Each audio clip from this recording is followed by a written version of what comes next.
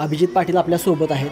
काय काय झालं या चार दिवसांमध्ये? चार दिवसामध्ये सर्व साखर कारखाने घर आणि ऑफिसेस या ठिकाणी आयकर विभागाच्या अधिकाऱ्यांनी त्या ठिकाणी चौकशी केली आणि त्या चौकशीमध्ये काही त्यांनी कागदपत्र काही कॅश आहे का सोनं आहे का कसं आहे काय आहे आणि या सगळ्या गोष्टीची माहिती घेतली आणि त्यांना जी काही प्रश्न होते त्या प्रश्नाची उत्तरं आम्ही दिली आणि काही प्रश्नाची उत्तरं जी राहिली होती त्याला पंधरा दिवसाची मुदत दिली आणि ही चौकशी पूर्ण झाली आणि काल रात्री कारखान्यावरची स- अंतिम चौकशी करून ते गेले. काय काय समोर आलं? काय काय म्हणजे कॅश किंवा सोनं असं किती समोर आलं त्यामध्ये? नाही सोनं हे घरातलं महिलांचं जे स्त्रीधन मानलं जातं चाळीस पन्नास तोळं सोनं होतं आणि एखादा कोटी रुपये कॅश होती. फार काय असा मोठा नव्हता आणि ती पण अकाउंटची होती आणि खात्यावरची होती. त्यामुळे ते परत देऊन गेले आम्हाला. कुठं तर केंद्रीय यंत्रणेचा वापर होतो अशा पद्धतीचा एक आरोप वारंवार केला जातो आहे असं तुमच्या बाबतीमध्ये पण घडलं आहे का? यंत्रणेचा वापर करून तुम्हाला कुठं तर दाबण्याचा प्रयत्न होतो आहे नाही ह्यात वरच्या ह्यांचा काही ह्यात वाटत नाही परंतु आपल्या विठ्ठल सहकारी साखर कारखान्याला कशी अडचण येईल आणि त्या माध्यमातून कसा हा बंद राहील ह्यासाठी काही इथल्या लोकल लोकांनी केलं असं सोशल मीडियातून जाणवतं आहे आणि तसं जर काही झालं असेल परंतु त्यांचा प्रयत्न फसला आहे आणि आज त्या ह्याच्यातून प्रामाणिक आहे. आम्हाला ह्या निमित्तानं शिक्कामोर्तब होऊन त्यातून तळपून आम्ही बाहेर निघाल्यामुळं अजून चौपट पद्धतीनं ताकदीनं काम करून आपला विठ्ठल कारखाना आणि त्याचे सभासद कर्मचारी सगळे सर्वांगीण विकासाने कसे समृद्ध करता येतील यासाठी येणाऱ्या काळात भरपूर असं काम करू. सर्वच पक्षांबरोबर तुमचे चांगले संबंध आहेत. पवारसाहेब असतील किंवा भाजपचे नेते देवेंद्र फडणवीस असतील सर्वांबरोबर आहेत. आज विरोधी पक्षनेते प्रवीण दरेकर आले होते. त्यांना एक सूचक व वक्तव्य केलं की भविष्यात अभिजित पाटील हे भाजपमध्ये येऊ शकतात.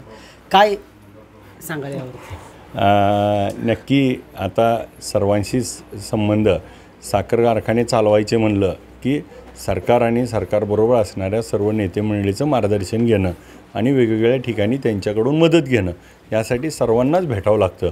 परंतु कारखाना चालू होणं आणि कारखान्याच्या अनुषंगानं ज्या ज्या काही गोष्टी लागतील त्या करणं हे मला क्रमप्राप्त आहे. त्यामुळे मी सगळ्यांच्या भेटी घेतो. साहेबांनी जे वक्तव्य केलं त्याला वेळ आहे. ज्यावेळेस वेळ येईल त्यावेळेस मी माझ्या सर्व सभासद माझे सर्व सहकारी गावगावच्या लोकांना बोलवून विचारेल की मग आपण आता कुठल्या पक्षात जायचं आणि सगळ्याचा मिळून निर्णय होईल त्या निर्णयाच्या मागे मी जाईन. पवार कुटुंबातले कोणाचा फोन आला होता का या कारवाईने? सर्वांचेच फोन आले. सगळ्यांनीच मला आधार धीर देण्याचं काम केलं. गावगावातील प्रत्येक गावगाड्यातल्या सर्वसामान्य लोकांनी काही आमच्या माता भगिनींनी बहिणींनी आज देव पाण्यात ठेवले होते कित्येक जणांनी उपास केले की अशा ह्या संकटांना टाळावं. पवार कुटुंबातले कोणाचा फोन आला होता का या कारवाईने सर्वांचेच फोन आले. सगळ्यांनीच मला आधार धीर देण्याचं काम केलं. गावगावातील प्रत्येक गावगाड्यातल्या सर्वसामान्य लोकांनी काही आमच्या माता भगिनींनी बहिणींनी आज देव पाण्यात ठेवले होते कित्येक जणांनी उपास केले की अशा ह्या संकटांना टाळावं. आणि या सगळ्यांच्या ज्या ताकदीमुळं खऱ्या अर्थाने ह्यांच्या दुवामुळे ह्यातून मी सही सलामत सगळ्यांना आणि प्रामाणिक होतो. ह्याचं आज या निमित्तानं एक उजळ मात्यानं शिक्कामोर्तब झाला आणि आज मी तुमच्यासमोर आहे सगळ्या या चौकशीमुळे कुठं तर जे सभासद आहे त्यांच्यामध्ये संभ्रमावस्था होती की आता कारखाना सुरू होतोय का नाही? त्यांना काय सांगाल तुम्ही? नाही सभासदांना म्हणजे माझ्या सगळ्याच म्हणजे विठ्ठल सहकारी साखर कारखान्याच्या सभासदाला तर आश्वास करतोच. बरोबर धाराशिव साखर कारखान्याच्या चारही युनिटच्या सभासदांना त्याचबरोबर बीडच्या युनिटला आणि मल्टीस्टेट बँकेच्या सर्व सभासदांना ठेवीदारांना यातून आश्वास करतो मी प्रामाणिक काम करतो आहे त्या प्रामाणिक कामाचं प्रतीक म्हणून मी ह्या चार दिवसाच्या चौकशीनंतर मी तुमच्यासमोर आहे.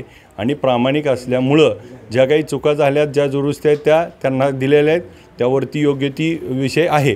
परंतु मी एकदम क्लिअर कट असल्यामुळं आज आपल्यासमोर येऊन बोलतो आहे सभासदांनी आणि ठेवीदारांनी कुठलाही विश्वासाला काही काळजी करू नये. शंभर टक्के आपण जो काय माझ्यावर विश्वास ठेवला आहे ऊसाचं मागचं तोडणी बिल असेल तोडणी वाहतूकदार असतील कर्मचारी असतील आणि पुढच्या वर्षी कारखाना चालू करून शेतकऱ्याला पंचवीसशे रुपये भाव देण्याचा शब्द मी आज देखील बांधील आहे आणि तो पाळणार आहे. दंड थोपटल्यामुळे कुठं तर ही कारवाई समोर आली असं एक सोशल मीडियावरती चर्चा आहे. काय सांगाल यावर ह्याच्यात बाबतीत आता आपल्याला अराजकीय बोलायचं होतं परंतु आपण प्रश्नच असा विचारला आहे की बहुजनांची मराठ्याचं पोरगं जर मैदानात अडवता येत नसेल तर अशा काही कारवाया होतात. आणि त्याचा ह्या प्रतीक असेल.